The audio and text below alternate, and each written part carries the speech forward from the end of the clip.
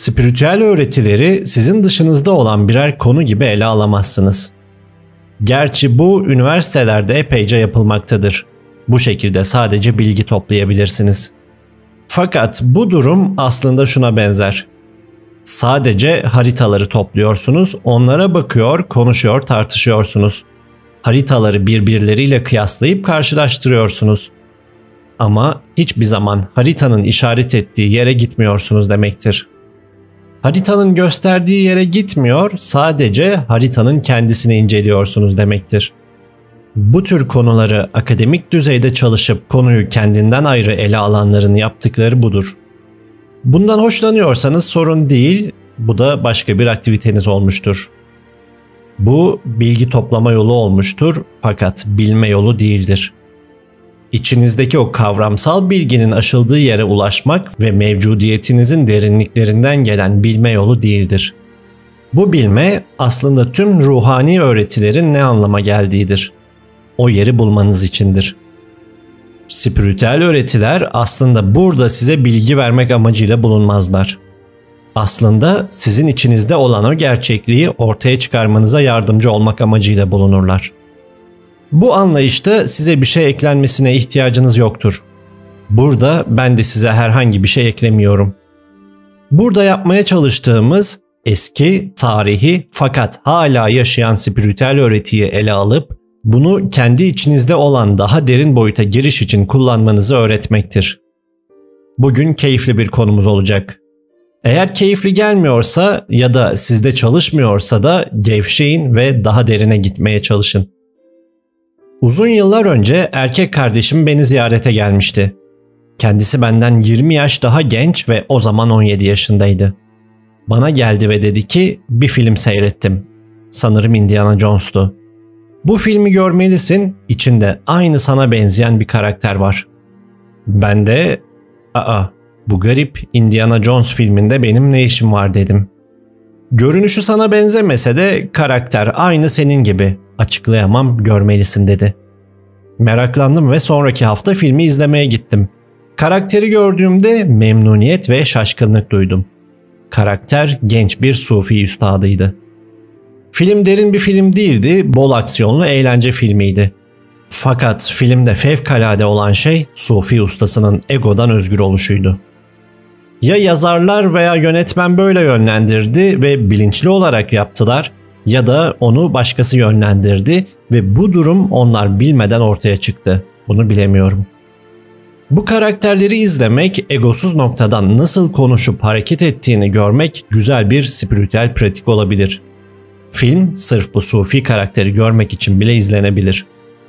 Bu film sayesinde ben de sufilerle daha çok ilgilenmeye başladım. Sufizmin bin yıldan fazla bir geçmişi var. Genellikle İslam'ın mistik kollarından biri olarak tarif edilir. Sufizm dendiğinde genellikle kendi etrafında dönen dervişler akla gelir. Bu dervişler aşırı memnun ve mutlu bir halde kendi etraflarında dönerek ve daireler çizerek dans ederler. Bazı dervişler şarkı söyleyerek eşlik ederler. Çeşitli pratiklere ve metotlara sahiplerdir. Bu yaptıklarıyla düşüncede durgunluk yaratırlar. Çünkü etrafınızda o şekilde dönerken düşünmeyi sürdüremezsiniz. Sufiler hakkında daha çok meraklanıp birkaç kitap edindim ve gördüm ki Sufi ustalarının hepsi sizin içinizdeki o en gerçek yere işaret ediyorlar.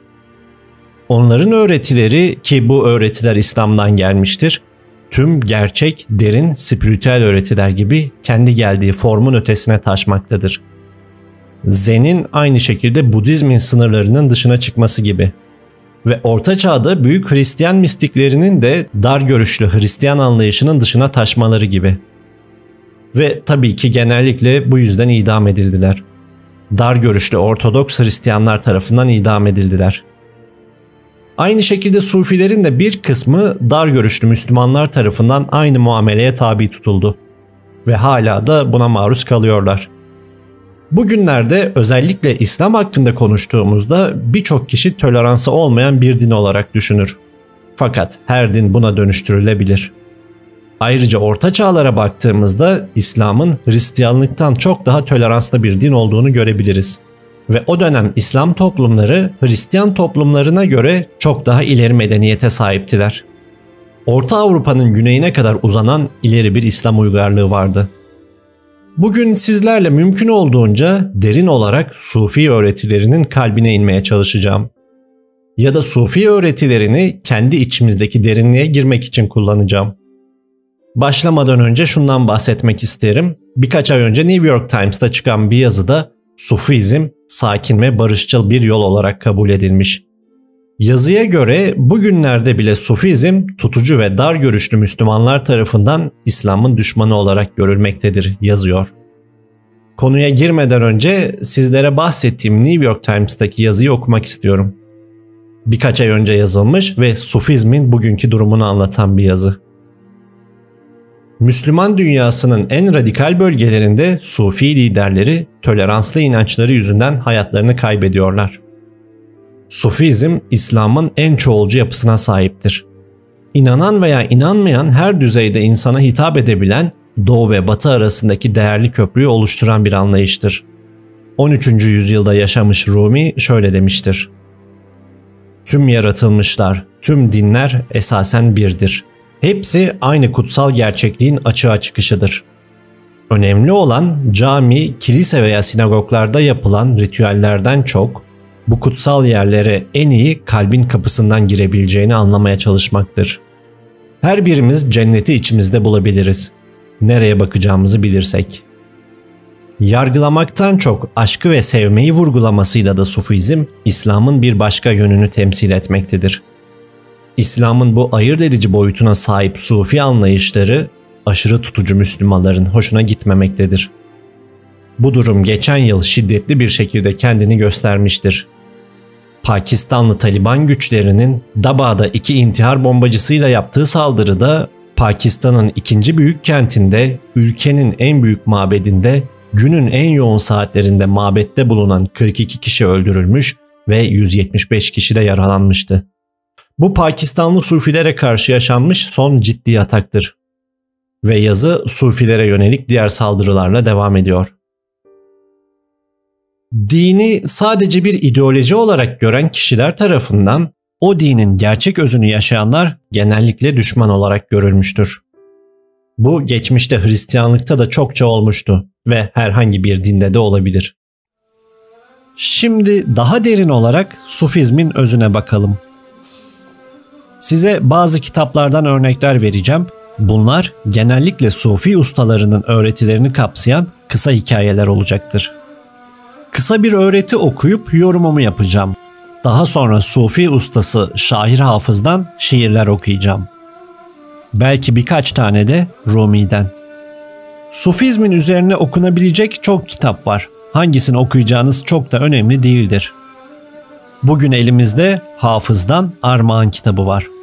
İdris Şah'ın Sufilerin Yolu kitabına da değineceğim. Bu elimdeki kitabı da birisi bana hediye etmişti. Dünya dinleri üzerine gizli yazıları içeriyor. Tüm zamanlara ait çok güzel bir kitap. 10. yüzyılda yaşamış bir Sufi ustasından kısa bir şiir okuyacağım. Eğer dünyada bir saadet cenneti varsa o budur. O budur. O budur. Mutluluk, neşe, canlılık bu anda saklıdır. Yani bu anın derinliğine girmelisiniz ki herkesin aradığı o mutluluk cennetine kavuşabilesiniz. Çoğu kişinin gelecekte bulunacak bir obje sandığı o cennete. Eski bir zen öğretisinin de dediği gibi bu odur. Kurtuluş bu anda gizlenmiş olan o güce erişerek mümkün olur. Dikkatinizi derinleştirip bu ana vererek kavramsal gerçekliğin yapısının işlemediği yere. Eğer dünyada bir saadet cenneti varsa o budur. O budur. O budur.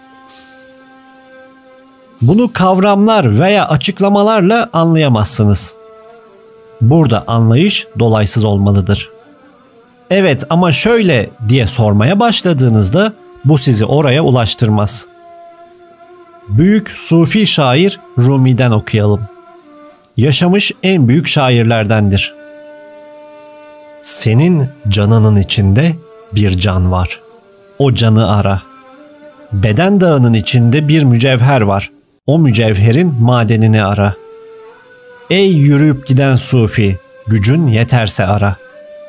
Ama dışarıda değil, aradığını kendinde ara. Dikkatinizi kendi içinize çevirin. Senin canının içinde bir can var. Onu ara. Çok güçlü olan bu beyti bir işaret tabelası, bir tarif olarak kullanın. Bir başka deyişle siz olan o yaşamın farkına varın. Dolaysız direkt olarak o hayat veren varlığın farkında olun. Aslında bu hayat veren varlık sizin içinizdedir bile diyemem. Dil hali hazırda bunu yanlış gösteriyor. Fakat bu hayat veren varlığın aslen siz olduğunu fark edin. O içinizde değildir. O sizin kim ve ne olduğunuzdur. Sizdir. Lisanı kullandığımızda ikililik yaratırız.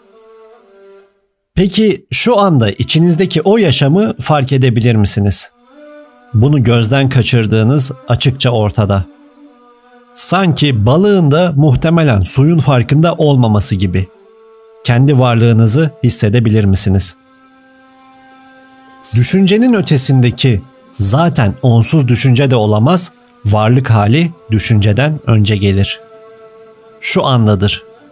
Hikayenizle bir ilgisi yoktur. Burada özünüze dokunabilirsiniz. İçinizdeki o üstün boyuta girebilirsiniz. Buradaki üstün olan içinizdeki formun ötesindekidir. Düşünceler, duygular, duyular. Bunların herhangi birinin nasıl farkında olabilirsiniz? Orada duygu, düşünce, duyu veya hisleriniz nasıl bulunabilirler? Altta yatan varlık sayesinde. Formsuz yaşam veya bilinç sayesinde. Bunun günlük yaşantınızda sürekli farkında olduğunuzda etrafınızdaki şeylere bağlanmaktan ve kendinizle ilgili zihinsel imajdan ki bu egodur kurtulmuş olursunuz. Şimdi okuyacağım küçük örnekte bununla ilgilidir. Allah'ı hatırlayış. Ebu Said'den 967-1049 yılları arasında yaşamış.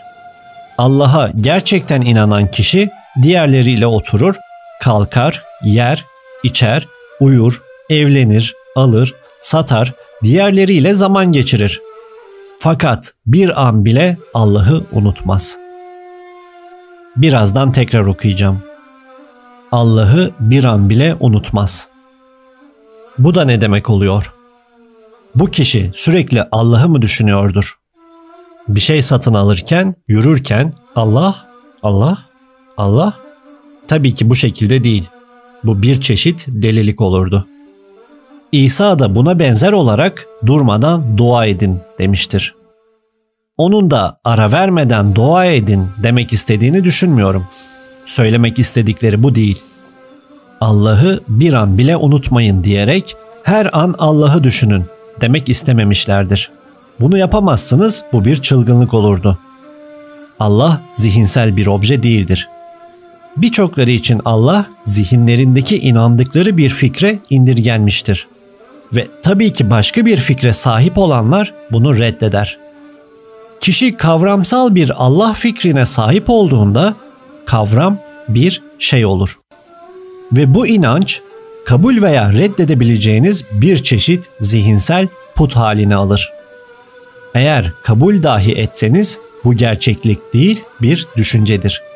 Ve bu düşünceyi kesintisiz olarak sürdüremezsiniz. Yani usta burada düşünceden bahsetmiyor. Geri planda kavramsal olmayan bilmekten bahsediyor. Ve bu okuduğumuz bir önceki şiirle de bağlantılıdır. Senin canının içinde bir can var, o canı ara. Bu varlıktır, bilinçli varlık. Her şeyin olmasını mümkün kılandır. Her şeyin içindeki ışıktır. Ben buna bazen dinginlik derim, ışık derim. sizdeki içsel alan derim. Dingin, durağan bir alan. Fakat yüksek bilince sahip. Canlı, bilinebilen. Yaşama sanatı ön planda günlük faaliyetlerinizle ilgilenirken arka planda bu dinginliğe sahip olabilmektir. Allah'a gerçekten inanan kişi diğerleriyle oturur, kalkar, yer, içer, uyur, evlenir, alır, satar. Diğerleriyle zaman geçirir. Fakat bir an bile Allah'ı unutmaz. Allah'ı bir an bile unutmazlar. Bir başka deyişle Allah'ı bir an bile unutmayan bu kişi sadece duyularıyla algıladığı tüm şeylerin ve düşüncelerin değil, aynı zamanda her şeyin belirdiği o alanın da farkındadır. Bu alan sizsiniz. Başka bir deyişle siz arka planda o dinginliği taşırsınız. Pazarda alırken ve satarken de o alanı, dinginliği taşırsınız. Tabi günümüzde bunlar alışveriş merkezleri. Yani AVM'de gezerken, bir şeyi satın alırken siz hayatınızın içindeki o objelerde tamamen kaybolmamışsınızdır. Bu arada bu objeler dışarıdaki objeler de olabilir, içsel objeler de olabilir. Bu objelerde kaybolmak Allah'ı unutmaktır.